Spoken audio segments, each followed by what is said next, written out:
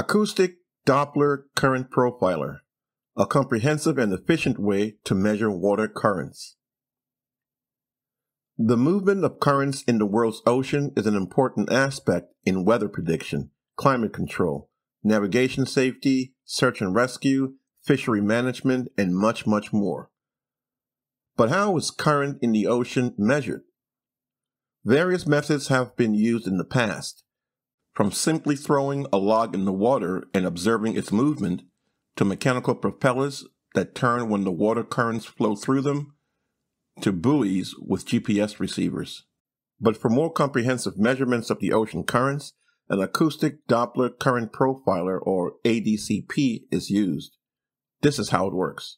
The ADCP relies on the Doppler effect. The Doppler effect is an apparent shift in frequency of a sound wave to an observer when there's a velocity difference between the source and the observer.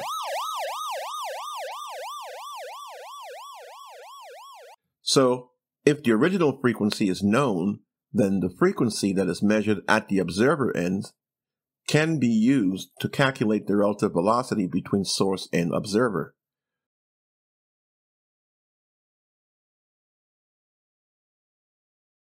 The source can also be sound waves reflected from an object.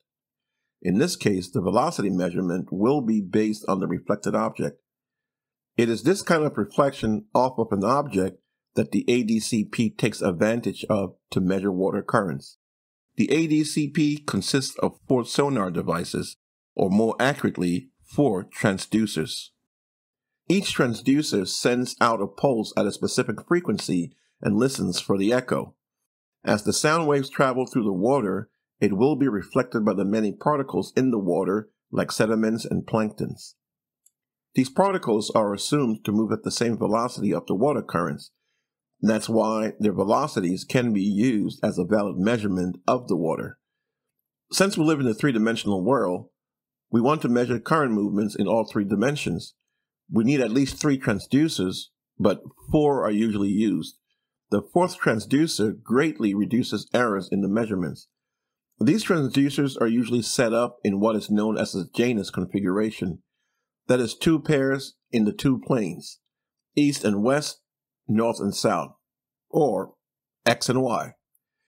If the ADCP is moving, for example, it's mounted on a ship or on a drifting buoy, the Doppler shift due to the instrument's motion affects both beams in a pair equally, but in opposite directions. By averaging the two opposing beams in a pair, the ADCP removes errors caused by platform movement, isolating only the water current's velocity. The same cancellation effect is also applied to reduce misalignment errors when the instrument is tilted due to waves in the ocean. Since the ADCP detects moving particles in all directions, including up and down, it will report current flows at different depths in the body of water, thus creating a comprehensive profile of water current flows in rivers, lakes, and oceans.